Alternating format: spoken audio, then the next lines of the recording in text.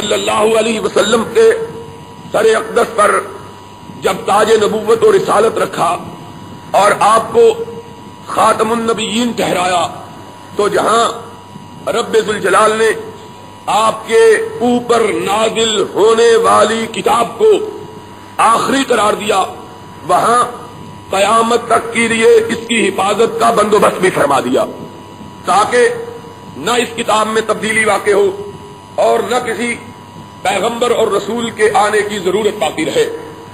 इसी तरह जलाल ने इमाम कायनात, फख्र मौजूदात रहमतुल्लिल आलमीन हज़रत मोहम्मद करीम सल्लल्लाहु अलैहि की तालीमात की हिफाजत के लिए आपकी उम्मत में ऐसे उलमा हर जमाने में पैदा फरमा दिए, जो आपकी सुन्नत मुताहरा को आपकी तालीमात मुबारक को, आपके इर्शादात गिरामी को हमेशा हमेशा सही अंदाज से खालिश सूरत में लोगों के सामने पेश करते रहे।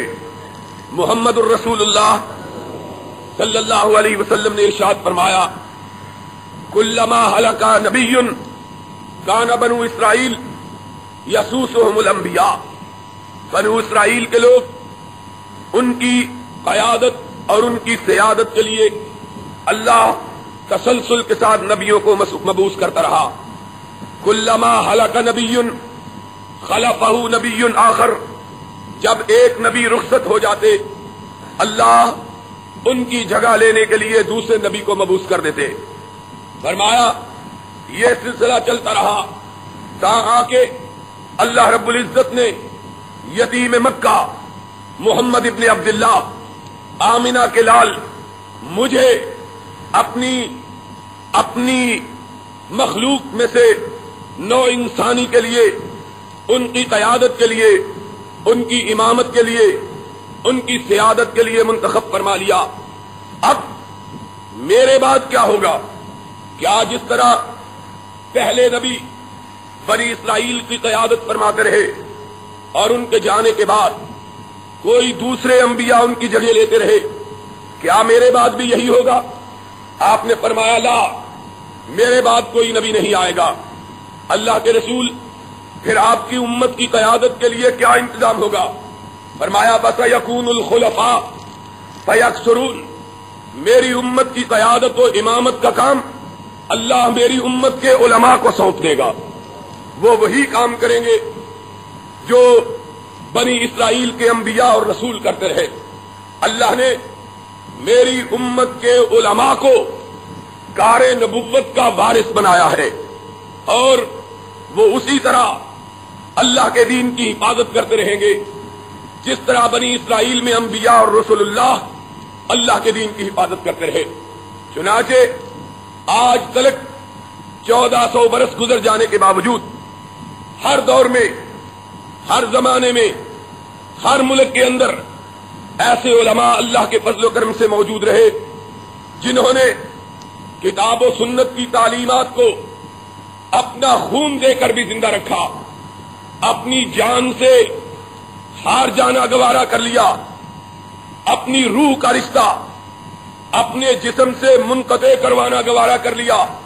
लेकिन मोहम्मद रसूलुल्लाह सल्लल्लाहु अलैहि वसल्लम की सुन्नत पे, आपकी तालीमात पे, आपके इर्शादात पे आँच आना गवारा नहीं किया। दुनिया के, तारीख के, हर दौर में, हर जमाने में, हर मुल्क में, हर खिता ज़मीन में वक्तन फवक्तन ऐसे उलमा पैदा होते रहे, जो अपनी रगों के खून से इस्लाम के पौधे की आबियारी करते रहे। अरब के अंदर फितना पैदा हुआ। दीन के मिटाने का, दीन के बदलने का, शरीयत की तब्दीली का अल्लाह रब्बुल इज़्ज़त ने सरवरे कायनात के शहर में इमाम मालिक को पैदा कर दिया, जिन्होंने कोड़े खाए, अपने चेहरे पे स्याही मलवाई, दाढ़ी का मुंडवाया जाना गवारा किया, गधे पे बिठवाकर जुलूस निकलवाना गवारा किया। वो पुष्प, जो पुष्प नबी ये पाक की मसनत से टेक लगाती थी, और वो पुष्प जो सरवरे कायनात की मसनत पे बैठती थी, उस पुष्प को जल्लादों के तुर्रों से दागदार और खून आलूद बनाना गवारा कर लिया। लेकिन मोहम्मद सल्लल्लाहु अलैहि वसल्लम की सुन्नत को न मिटने दिया। आपकी तालीमत को रोशन रखा। आपके इर्शादात की हिफाजत की। आपके फरामीन को सर बुलंद रखा। कहा, मालिक मिट सकता है, लेकिन मोहम्मद अकरम के दीन को मालिक के जीते जी मिटाया नहीं जा सकता। इसी तरह अल्लाह रबुल इज़्ज़त ने इराक के अंदर अहमद इब्न हम्बल को पैदा किया। दमश के अंदर, शाम के अंदर इब्न तैमिया को पैदा किया। मराकश के अंदर, उंदलस के अंदर, इमाम इब्न हजम को पैदा किया। कूफे के अंदर, इमाम अबू हनीफा को पैदा किया। मिस्र के अंदर, इमाम शाफई को पैदा किया। हर दौर में ऐसे लोग दुनिया में जन्म लेते रहे। हर खत्ते में, जिन्होंने हक की खातिर अपनी गर्दनों को कटवाना गवारा किया। लेकिन मोहम्मद रसूलुल्लाह की सुन्नत पे आँच आने देना गवारा नहीं किया। तुर्की के अंदर एक आलम जलील पैदा हुए। एक किताब में पढ़ रहा था। बादशाह उनकी दावत के लिए उनको अपने पास बुलाता है। उनके सफ़र में वो तशरीफ़ लाते हैं। नमाज़ का वक्त हो चुका है। बादशाह इंतहाई मुतासब और जामत किस्म का मुकल्लद है। अपने इमाम के अलावा किसी की बात को न सुनना, न मानना द्वारा करता है। ऐसे आलम में ये आलिम तशरीफ़ लाए। नमाज़ का वक्त हुआ। दरिया के किनारे बादशाह का महल था।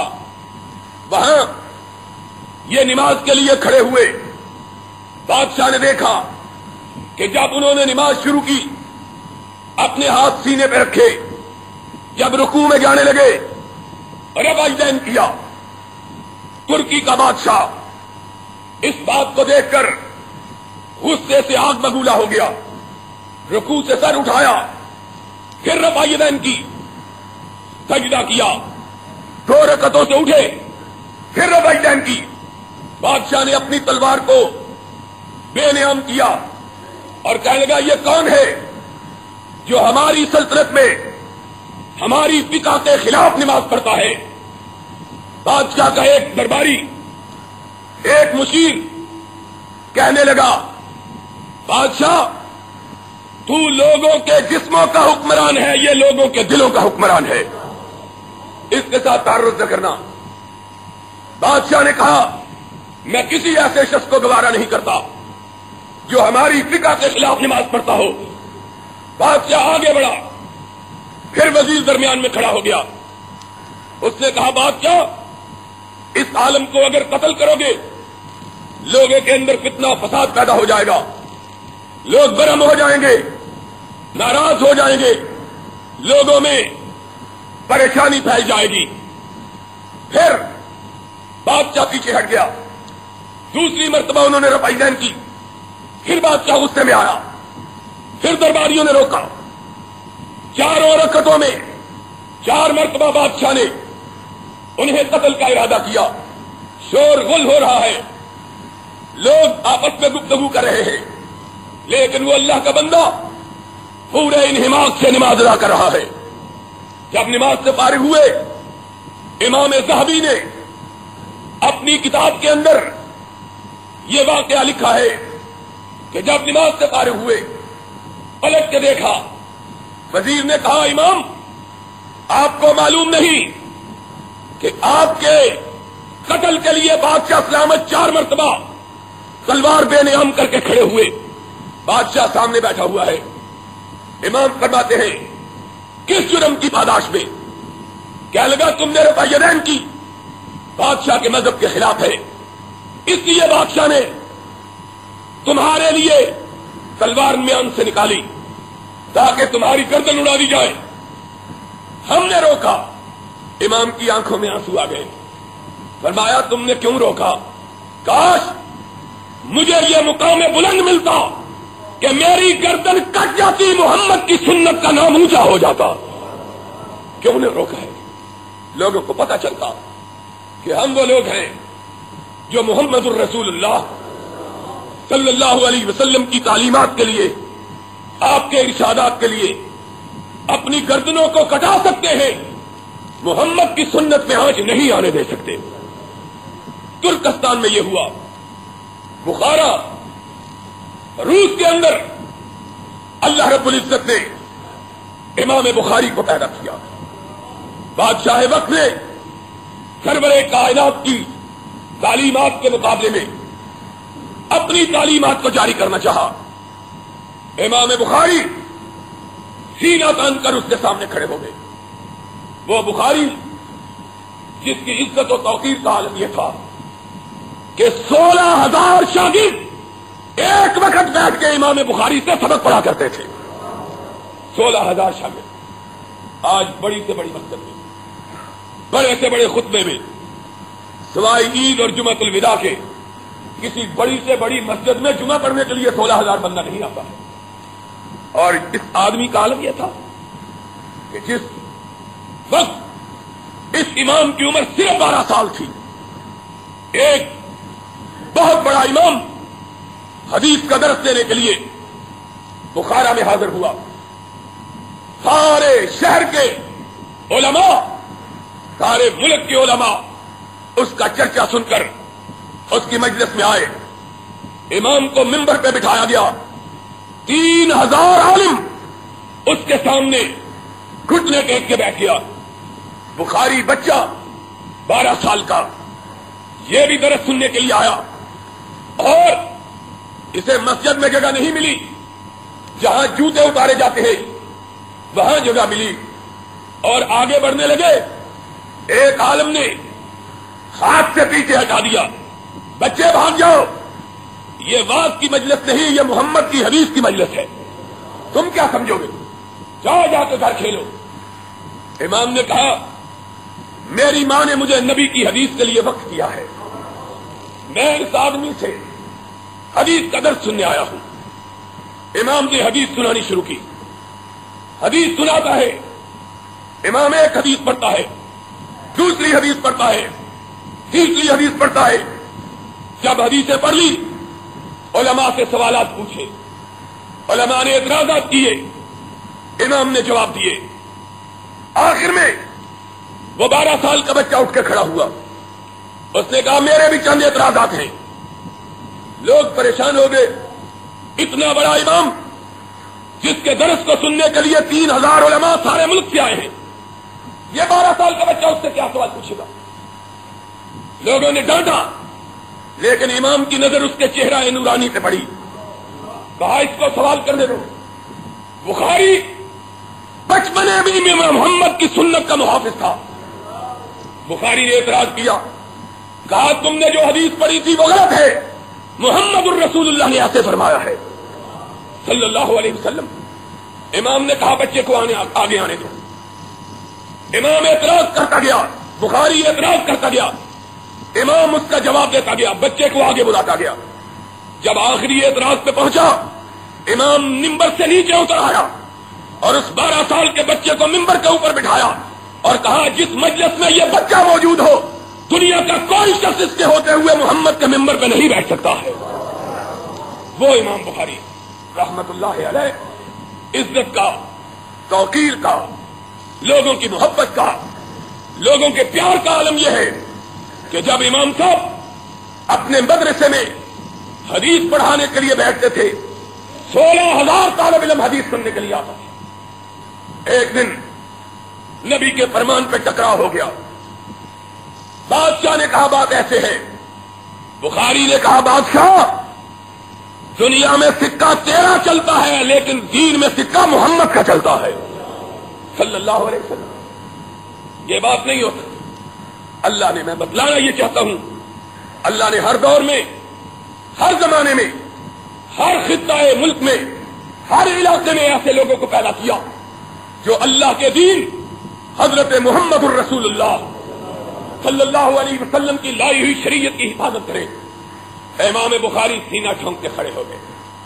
बादशाह ने कहा, हट जाओ, मैं बादशाह हूँ। इमाम बुखारी ने कहा, बादशाह, तू है, लेकिन मोहम्मद की खेती का रखवाला मैं हूँ।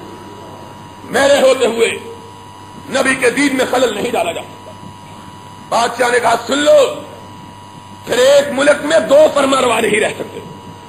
मेरा मुल्क छोड़ दो। इमाम बुखारी ने उस बुखारा को छोड़ना दोबारा कर दिया, जिसमें सोलह सोलह हज़ार आदमी उनसे दरसे हदीस पढ़ता था।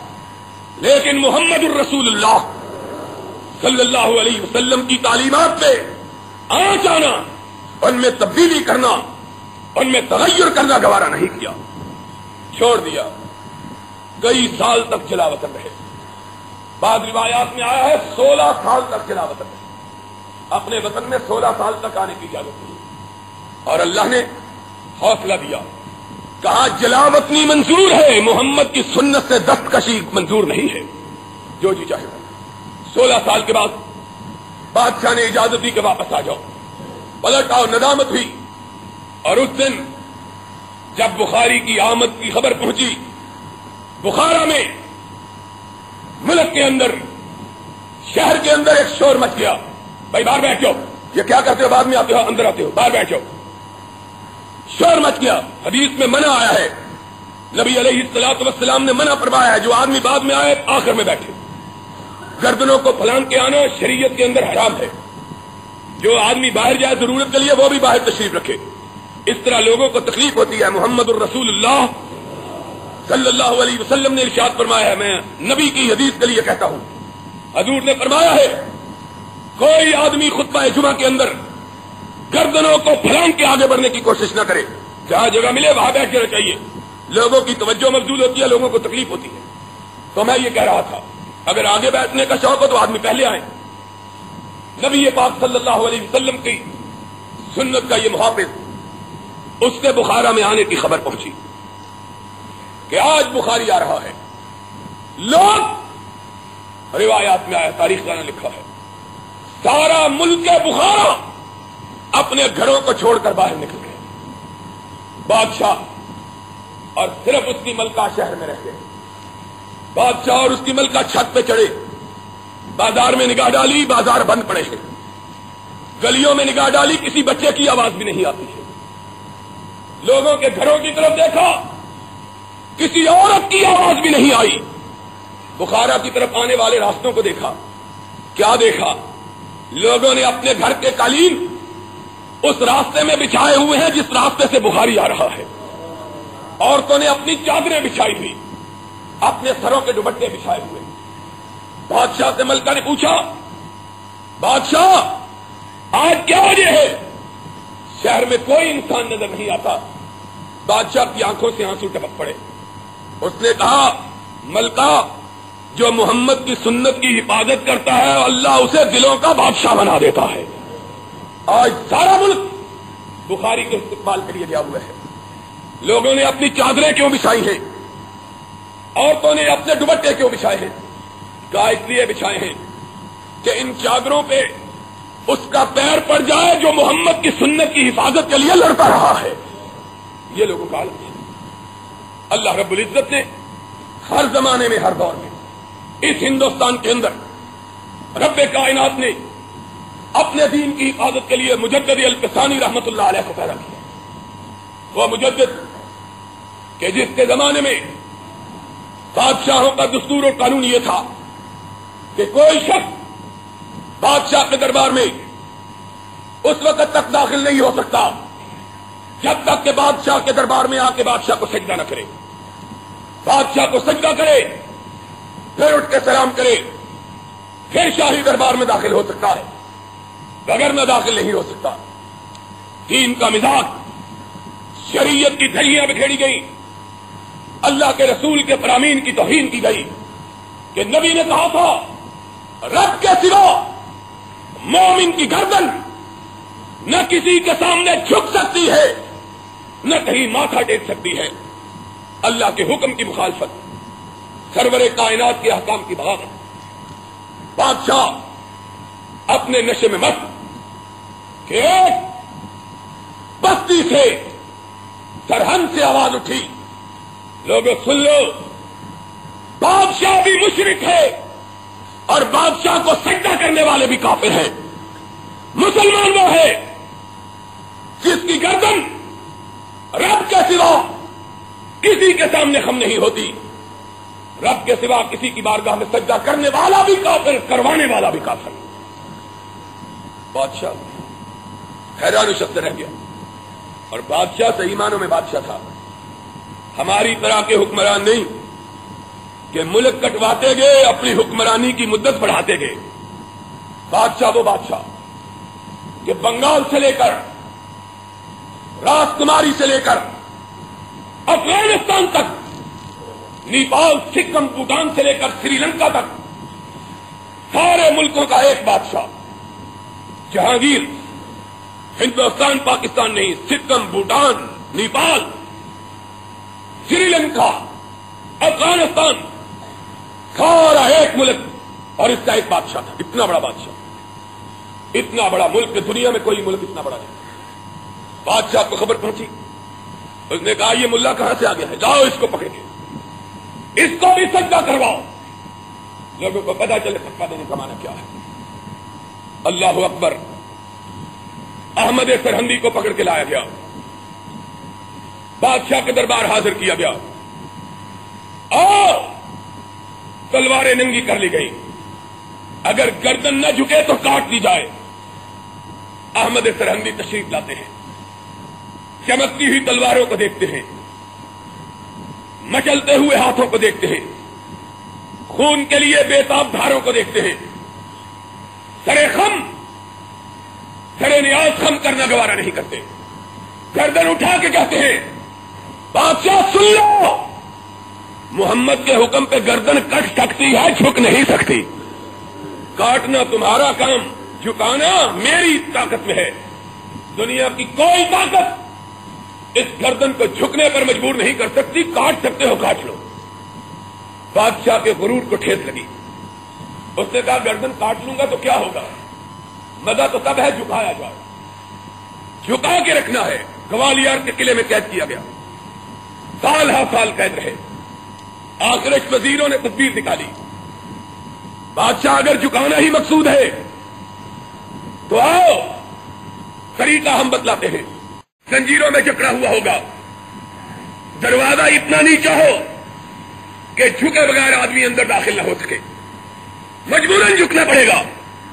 तेरी अना बाकी रह जाएगी। लोगों के दिलों से इस फकीर का भरम उठ जाएगा। बुलाया। अहमद सरहंदी बूढ़ा हो चुका है। कमर झुक चुकी कुतें कमज़ोर हो चुकी। गले में तोक लड़ा हुआ, जिसके बोझ से सर झुका हुआ। बादशाह के दरबार में घसीटते हुए लाए। दरबार के आगे पहुँचे। सामने एक छोटा दरवाज़ा देखा। अल्लाह के नबी ने कहा इस्तकू फिरासत अल मोमिन फाइन नहू यंजरो बिनूर मोमिन की अकल से डरो कि मोमिन अल्लाह के नूर से लोगों को देखता है। इतकू फिरासत अल मोमिन बिनूर हज़रत मुजद्दद ने लम्हे भर के लिए दरवाज़ा देखा। सारी साजिश सामने आ गई। पूरी हड्डियों को इकट्ठा किया, झुके हुए सर को उठाया। पहले अपनी गर्दन दाखिल नहीं की, उल्टा होकर पहले अपने कदम दाखिल किए। कोई ये न समझे कि मजबूरी में भी सर चुकिया दरबार में आए। कहा, जहांगीर, सुन लो। तेरी गर, तेरी तलवार अहमद सरहंदी की गर्दन काट सकती है। अभी झुकाने वाली कुत पैदा नहीं हुई है। जो जी चाहे ये गर्दन झुक गई। अल्लाह ने इस मुल्क में अपने नबी के दीन की हिफाजत के लिए सैयद इस्माइल शहीद को पैदा किया।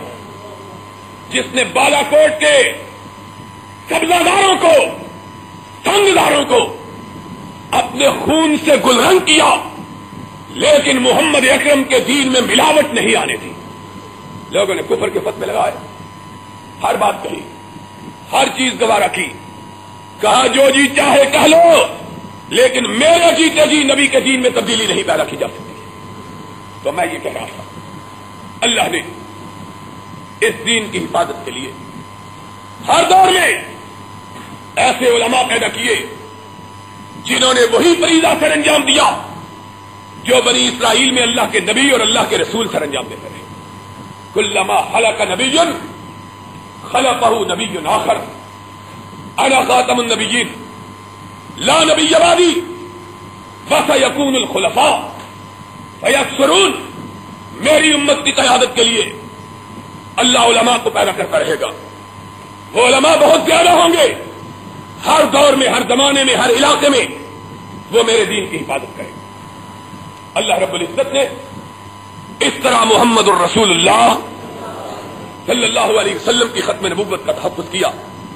और आपके बाद किसी नई नबूवत के इजरा का दरवाज़ा हमेशा के लिए बंद कर दिया कि कोई नबी नहीं आएगा जो मोहम्मद के दीन की तकमील करेगा। सल्लल्लाहु अलैहि वसल्लम। अब सवाल यह पैदा होता है कि क्या ईसा अलैहिस्सलाम आएँगे कि नहीं आएँगे? मसला खत्म नबूबत के साथ। इस मसले का बहुत गहरा ताल्लुक है। इसलिए कि एक दज्जाल कज्जाब की उम्मत, नबी की उम्मत को गुमराह करने के लिए यह हवाला देती है कि अगर कोई नबी नहीं आना तो ईसा ने क्यों आना? ईसा की आमद का क्या मतलब है? मसले को समझ लो। हज़रत ईसा सलाम नए नबी नहीं होंगे। नबी ये पाक हज़रत मोहम्मद रसूलुल्लाह सल्लल्लाहु अलैहि वसल्लम ने इरशाद फरमाया है कि मेरे बाद कोई नबी नहीं आएगा, मेरे बाद नहीं आएगा, जो पहला गुजर चुका है, उसकी नफी नहीं की और फिर दूसरी बात यह है कि ईसा सलाम जब इस कायनात में आएँगे तो वो नबी की हैसियत से नहीं आएँगे, मोहम्मद के उम्मती की हैसियत से आएँगे। सल्लल्लाहु अलैहि वसल्लम। क्यों आएँगे? क्या नबी की तालीमात मिट गई हैं, उनको ज़िंदा करने के लिए आएँगे? क्या कुरान में तब्दीली होगी, इसलिए आएँगे? क्या शरीयत के अंदर कोई खलल आ गया, इसके लिए आएँगे? कुरान कहा नहीं। क्यों आएँगे? व इन मिन अहलिल किताबे इल्लामिन बही कबल मौते। ईसा इस्लाम इसलिए आएँगे कि वो ईसाई जिन्होंने आपके दीन में तब्दीली की और नबी आखिर जमान को मानने से इनकार किया। ईसा इस्लाम इसलिए आएँगे कि उन ईसाइयों को मोहम्मद का उम्मत ही बनाए। नबी के दीन के अंदर, नबी की शरीयत के अंदर, नबी के कुरान के अंदर कोई तब्दीली नहीं होगी जिसको मुकम्मल करने आएँगे। बल्कि अपनी उम्मत, उनको मोहम्मद की उम्मत में दाखिल करवाने के लिए आएँगे। कुरान है किताब नबी कबल मौते वयमल कियामत यकून वाले शहीदा। कि ईसा की आमद स्थानी का मकसद, उन लोगों को ईमान में शामिल करना होगा। जिन लोगों ने मोहम्मद रसूलुल्लाह की उम्मत को न जाना, जिन्होंने सरवर करीम की शरीयत को नहीं माना, उनका मकसद यह है। और आने वाला वही ईसा होगा, जिस ईसा को यहूदियों ने सलीब पे चढ़ाना चाहा। कुरान कहता है, माँ कतलू हो, वमा सलबू हो वला किन शुभ अलहम न सूली चढ़ा सके न कतल कर सके बल रबाहुल्लाह इलई बल्कि रब ने उन्हें ज़िंदा आसमानों पे उठा लिया। वो ईसा आएगा हज़रत मोहम्मद रसूलुल्लाह सल्लल्लाहु अलैहि वसल्लम ने इरशाद फरमाया कि ये ईसा नई नबूवत लेके नहीं आएँगे। ये पहले मुझसे पहले के नबी हैं। और जब आएँगे, अपनी नबूवत को नहीं चलाएँगे, बल्कि मोहम्मद की इमामत को चलाएँगे। सल्लल्लाहु अलैहि वसल्लम। अब सवाल ये पैदा होता है। गुलाम अहमद कादियानी ने कहा है कि मैं भी तो वही हिस्सा हूँ जो पहले आया था। अल्लाह रब्बुल इज़्ज़त ने मैंने जिस तरह के पहले खुतबों में कहा था, इस दीन की हिफाजत के लिए, सिर्फ़ इस किताब को तब्दीली और तारीफ़ से महफूज नहीं रखा। बल्कि इस दीन की तालीमत को भी महफूज रखा।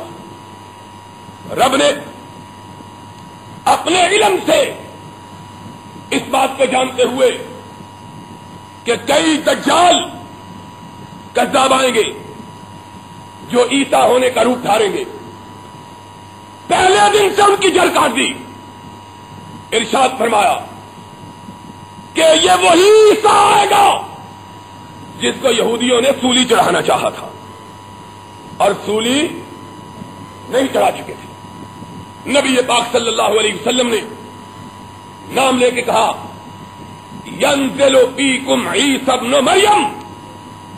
लोगों, सुन लो, वो ईसा जो आखिरी जमाने में आएँगे, वो ज़मीन से नहीं आएँगे, आसमान से आएँगे। यंजिलो अलैकुम मिन समा। और कौन सा ईसा होगा? ईसा अपनो मरियम। वो वही ईसा होगा जो मरियम के घर पैदा हुआ है। यंजिलो अलल मनारतिल बैदा फ़ी शर्कीय दमश वो ईसा आसमान से आएगा। वाजहन अजनिहाता हूँ अलल मलाइका। उसने अपने हाथ जिबरील और मीकाइल के कंधों पर रखे हुए होंगे। जब आएगा, कहा आएगा? यंजिल अलल मनारतिल बैदा आएगा तो दमच के मशरकी किनारे पर वाक़ मस्जिद के सफ़ेद मीनारे पे उतरेगा। नबी पाक हज़रत मोहम्मद रसूलुल्लाह सल्लल्लाहु अलैहि वसल्लम ने आने वाले दज्जालों की जड़ काट दी। यम कसो पिल्लर में अरबाई न सना, चालीस साल दुनिया में हुकूमत करेगा। काबतुल्लाह में आएगा। मेरी उम्मत का इमाम काबे में नमाज़ पढ़ा रहा होगा। ईसा को देखेगा। कहेगा, ईसा, तुम नमाज़ पढ़ाओ। ईसा सलाम कहेंगे, नबी के आने के बाद किसी की नबूबत बाकी नहीं रही। मैं ईसा भी अगर नमाज़ पढ़ूँगा तो मोहम्मद के उम्मती के पीछे पढ़ूँगा फरमाया फिर मदीने में आएगा। फिर मेरी कब्र में दफन होगा।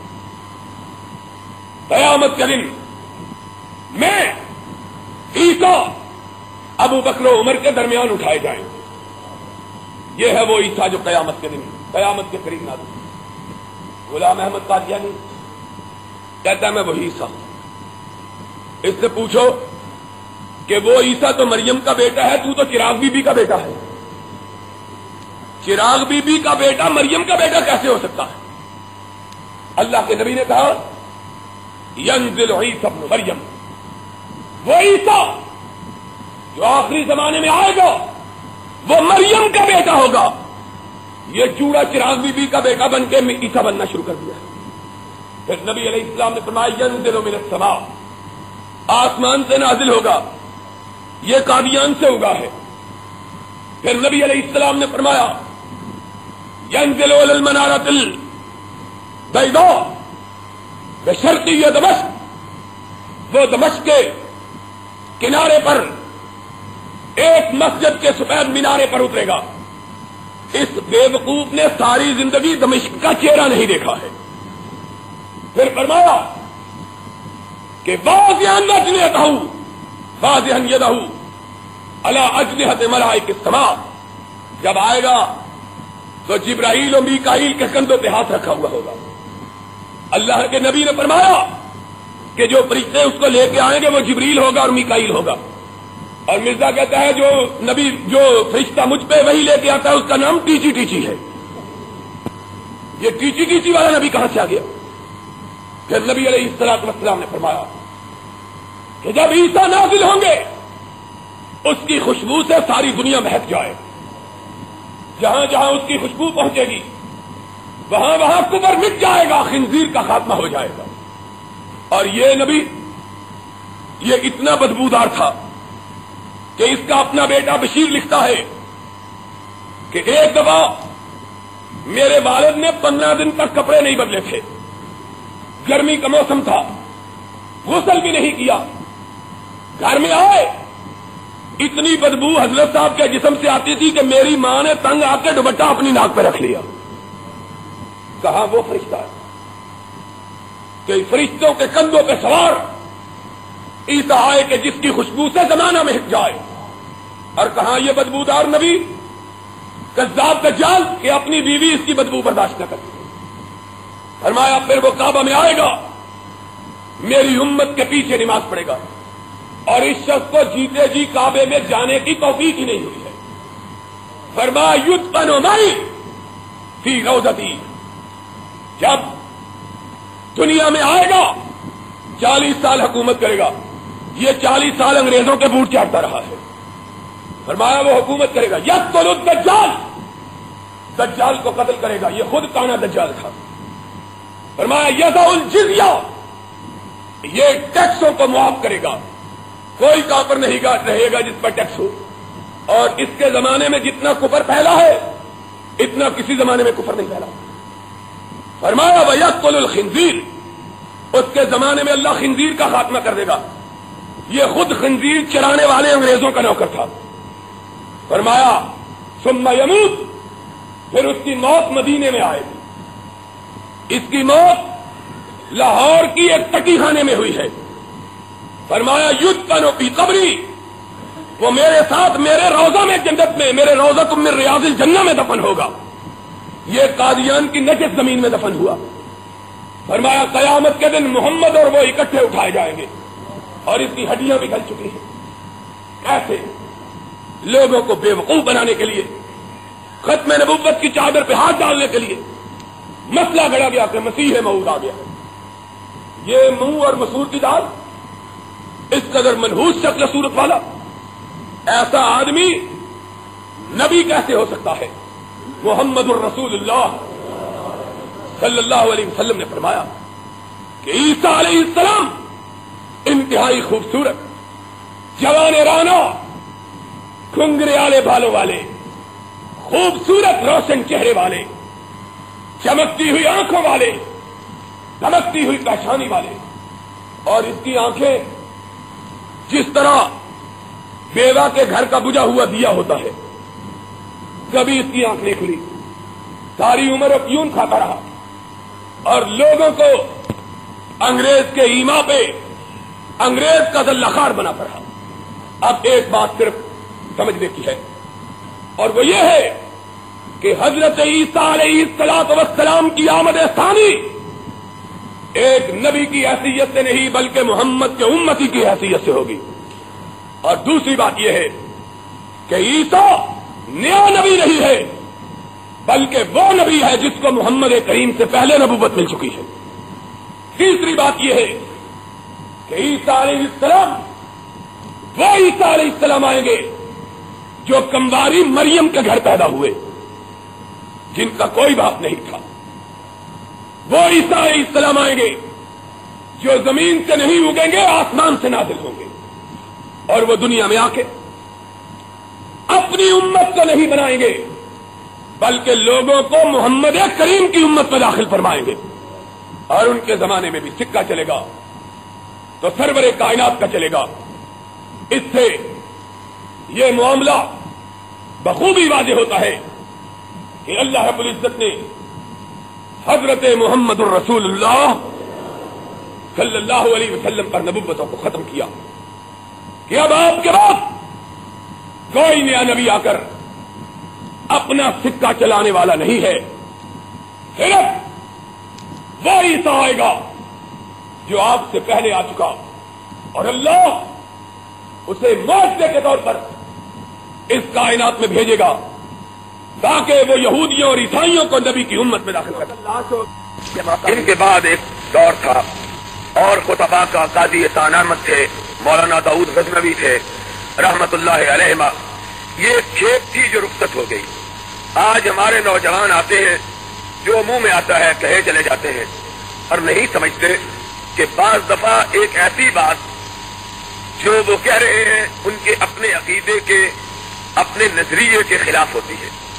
मैं, मुझे माफ़ कर दें। अब हमारा मतलब कुछ इस किस्म का है। हमारे से मुराद है हदीस और देवबंदी। वो लोग जो किताब सुन्नत के कायल, मोतरफ और मुस्द हैं। और जिनके नज़दीक मेयार सिर्फ़ अल्लाह की किताब और अल्लाह के रसूल की सुन्नत है।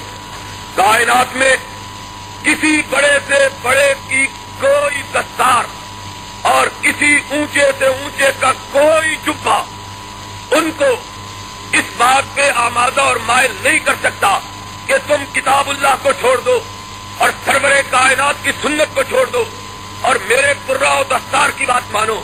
बल्कि वो ये जानते, मानते, समझते, यकीन रखते हैं कि पूरी कायनात एक तरफ़ हो और रब्बे कायनात का फरमान एक तरफ़ हो या रहमत कायनात की बात एक तरफ़ हो।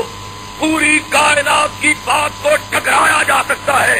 रब और उसके रसूल की बात पे आँच नहीं आने दी जा सकती। ये अल्लाह का शुक्र है।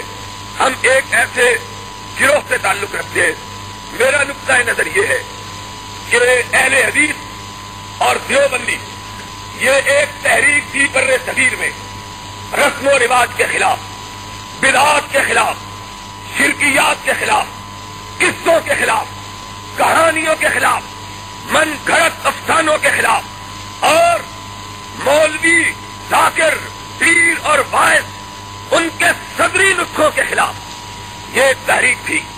इस तहरीक ने हिंदुस्तान बर्रे सगीर पाको हिंद में इस बात को उजागर और नुमाया किया। कहने वाला कितना ऊँचा क्यों ना हो? अगर उसकी बात किताब और सुन्नत के मनाफी है तो उसको फूट की नोक पे रखा जाएगा। और कहने वाला कितना छोटा क्यों ना हो? अगर उसकी बात किताब और सुन्नत के मुताबिक है तो उसे सर पे रखा जाएगा, आँखों पे रखा जाएगा। ये एक नुकता निगाह था। तो मैं, मेरे दोस्त, मेरे भाई और मेरे बुज़ुर्ग के फर्जन ने एक बात कही है कि मजार सिर्फ़ एक हो कुब्बा सिर्फ़ एक हो, नहीं नहीं, कोई कुब्बा मजार। मेरे आका और मौला हज़रत मोहम्मद रसूलुल्लाह सल्लल्लाहु अलैहि वसल्लम का मुतलक इरशाद था। अपने दामाद हज़रत अली मुर्तदा को ला तरा कबरन, ला तरा वसनन, ला तरा सूरतन इल्ला समझता हूँ बला कबरन मुशरफन इल्ला सब्बैता जब भी कोई कबर ऊँची देखो, उसको बराबर कर दो। जब भी कोई सूरत देखो, उसको मिटा दो। मोहम्मद रसूलुल्लाह सल्लल्लाहु अलैहि वसल्लम की अजमत का राज ये है कि वो अपनी परस्त के लिए नहीं आए। उन्होंने किसी ऐसी बात का हुक्म नहीं दिया जिसमें अपनी बड़ाई, अपनी ऊंचाई अपनी अजमत, अपनी बालाई, अपनी बरतरी हो। उन्होंने आखिरी वक्त तक अगर हुक्म दिया तो सिर्फ़ रब वाहिद की बरतरी का हुक्म दिया है। ये हमारे आका का, हमारे मौला का हुक्म है कुब्बा हम किसी का नहीं मानते, मजार हम किसी का तस्लीम नहीं करते। हमारा अकीदा ये है, देवबंदी हो, अहले हदीस हो मुतफका अकीदा है। किताब और सुन्नत के मुताबिक मैंने इसलिए इस बात की वजाहत की है कि कोई दोस्त किसी गलत फहमी का शिकार ना हो। मुतफका अकीदा यह है कि पुख्ता कबर चाहे ऊँचा हो, चाहे नीचा हो, चाहे बुज़ुर्ग हो, चाहे बरतर हो, चाहे कहतर हो, चाहे बेहतर हो, किसी की कबर पुख्ता बनाना जायज़ नहीं है। कोई हो, इसलिए नहीं जायज़ कि मोहम्मद रसूलुल्लाह। सल्लल्लाहु अलैहि वसल्लम ने कबर को पुख्ता बनाने की इजाज़त। सरवरे गिरामी हज़रत मोहम्मद सल्लल्लाहु अलैहि वसल्लम की कब्र घर भी कच्ची है। याद रखना इस बात को। नबी मुकर्रम, रसूल मुअज्जम, सरवर आलम, सल्लल्लाहु अलैहि की कब्र मुबारक कच्ची है। और ये अल्लाह की तरफ़ से एक निशान है। हज़रत मोहम्मद रसूलुल्लाह सल्लल्लाहु अलैहि वसल्लम की सदाकत का कि जो आपने ऐलान किया रब कायनात ने उस ऐलान को अपने महबूब के लिए भी बाकी रखा है। आपकी कब्र अथर के गिर जो दीवार बनाई गई, वो एक खास मसलहत के लिए बनाई गई। एक बात ये, और दूसरी बात मैं ये कहना चाहता हूँ। दोस्तों, पीर, मुझे इस बारे में कहने में कोई बात नहीं है। मुझे कोई शर्म नहीं आती इस बात के कहने में कि हम किसी पीर को नहीं मानते। अगर लोग हमको ताना देते हैं, ये पीरों को नहीं मानते तो जाओ, उनको जाके कह दो, हम नहीं मानते जो जी चाहे हमारा बिगाड़ दो। हम दीन के बारे में माजरत खाही का तरीका इख्तियार करने के लिए तैयार नहीं है। हमारे आँखों मौला ने हमको सोच सिखाया है, याद रखो, दीन के बारे में मुदाहनत या मुनाफत है, और मुनाफत को रब कभी गवारा नहीं करता। पीर लिए फिरते हो। जो हम नहीं मानते, तुमने लेने वालों को पीर बना रखा है। हमने पीर अगर माना है तो अकेले कमली वाले को माना है। हमने नहीं माना। हम नहीं मानते किसी को पीर। पीर अगर तुम कहते हो गुस्ताख है, इसमें गुस्ताखी की बात है तो गुस्ताखी की सही। तुमने लेने वालों को पीर बना रखा है। फ़र्क ये है, पीर हमने माना। हमने लेने वाले को नहीं माना, देने वाले को पीर माना है। तुम मानते हो पीर, लेने वाले को, जो आता है। पिछले दिनों में शकरगढ़ में गया। लोगों से पूछा, क्या हाल हवाल है? जब भी किसी बस्ती में आदमी जाता है, पूछता है, यहाँ से क्या हालात? कह लगे, जी, दो हमारे लिए मौसम बड़े मुश्किल। हमारे ऊपर दो बलाएँ पड़ती है। शकरगढ़ को तो जानते ही है ना आप सब। मैंने कहा, क्या? कह लगे, जी, एक तो रावी पड़ता है हम पर। जो कुछ हमने बोया होता है, बहा के ले जाता है। मैंने कहा अच्छा दूसरी आफत तुम पे क्या पड़ती है? कह लगे, जो बच रहता है, पीर पड़ते हैं, बाकी वो सफाया करके चले जाते हैं। जो तूफ़ान से बच जाता है, सैलाब से बच जाता है, वो पीर आते हैं। ये आते हम नहीं मानते।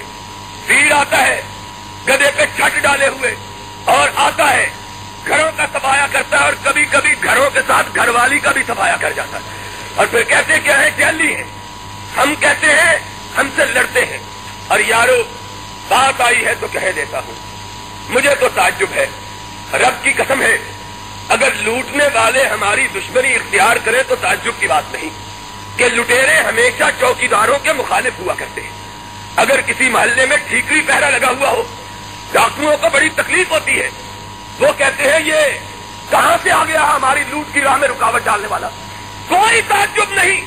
अगर लूटने वाले हमारी दुश्मनी करें कि हम उनके लूट की राह में रुकावट बनते हैं, ताज्जुब तो इस बात का है कि लूटने वाले तो हमारी दुश्मनी करते ही हैं, लूटने वाले भी हमारी दुश्मनी इख्तियार किए हुए। वो जिनको लूटा जाता है, कभी ये कह के, तेरा बाप रात को नंगा मिलाकर कपड़े ला, मैं उसको कपड़े पहना दूँ। कभी खत्म के नाम पे